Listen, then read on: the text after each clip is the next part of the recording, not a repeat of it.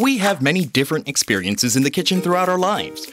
From small things like daily breakfast to special occasions like birthday parties. What about the heart of the kitchen, the refrigerator? We all have different reasons to end up here, yet the fridge treats us the same. Is there a fridge that adapts to your experiences in the kitchen? Yes, there is. Samsung's Twin Cooling Plus refrigerator does it for you. Meet Samsung's new refrigerator with five convertible modes. It offers you versatility with its great features. Here we have Samsung's refrigerator. This versatile fridge adjusts to all your needs. At the touch of a button, you can set it to regular mode. Notice anything different? Let's watch this. You're throwing a family party.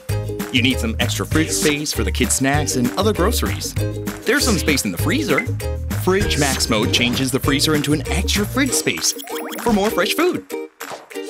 Now, where is everyone? You work during the day, so you don't use the fridge that often.